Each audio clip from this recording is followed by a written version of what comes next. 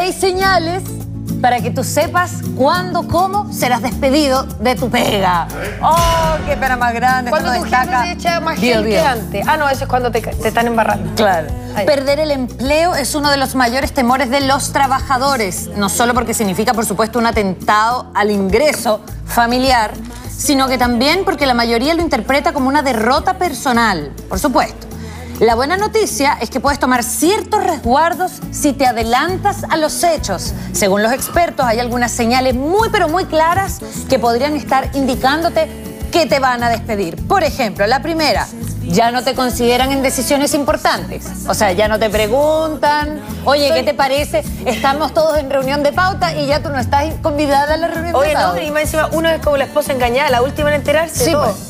Todo, hay panorama, hay reuniones, da, crecimiento personal, Hay coaching, hay grupos de WhatsApp y ya tú no estás incluido. No, estás bloqueado, peor aún, bloqueado de WhatsApp. Tus responsabilidades se reducen. Inexplicablemente te dicen, no, no importa, ya No. son. Déjalo que eso lo hace Mitzi. Oye, tómate el día. Tómate el día, claro. Día administrativo. ¿Cuánto necesita? Listo. No, claro, pase por ahí, pase por ahí. Vaya, Empiece a sospechar si sus responsabilidades abruptamente comienzan a disminuir. Check. Tu jefe está visiblemente molesto. Oye, la cara de burro de este largo todo el día, No. ya hay algo mal ahí. No es así, no es Sí, así. Es así. No, no, no es así en nuestro caso. Estoy, estoy, estoy Ah, haciendo un test, el test. Ah, ya. Lo estoy haciendo. Check.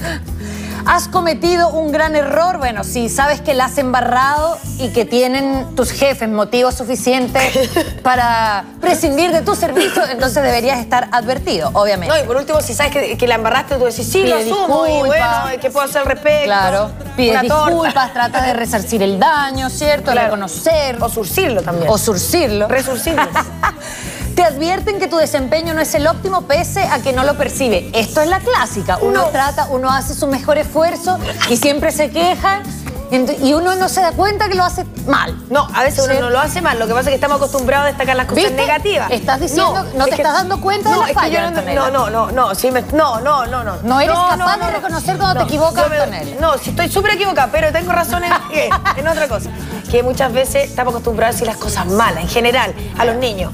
Oye, tú esto, que así, que hiciste esto, que desordenada tu pieza, que ordénala, que esto, que Ah. está mal, que hablas mucho, que hablas poco, que no dejas hablar a Yanin, que habláis mucho, que vais al baño, que no habláis, que tomáis café, que te rascáis. Pero independientemente Pero- de que te lo digan mal, uno tiene que reconocer si la participación Ya. de uno en la pega está buena, regular o eh, ¿Y qué tal reguleque, como ¿y qué tal diría la, el jefe, la jefa, la mamá en la casa, en el caso de una familia, te dice, ¿sabes qué? Me gustó lo que hiciste aquí. Ya. Así que de ahí para adelante. Ahora, en este Estímulo caso, positivo. existe esto que no está tan bien, pero compensemos.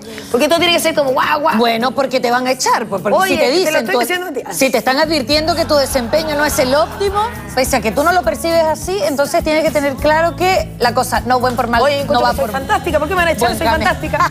Soy fantástica. y me necesitan. Chao. Y lo peor, así, pero por lejos lo peor, es que tu asistente, Anto, que tomes asiento. Ah, ¿por tu qué? asistente Estoy creciendo. Ah, no, perdón, tu asistente no. El asistente del jefe, que antes siempre te trataba bien, con cariño, siempre te recibía parte de la pega, de todo, el buen trato, de repente te empieza a basurear. O sea, ya cuando el asistente del jefe te basurea y te trata mal, tú tienes que saber que el sobrecito azul va a estar por llegar a tus manos ¿Por qué me en hicieron muy sentarme? poco tiempo. ¿Por qué me hicieron sentarme? Porque me, me hicieron sentar.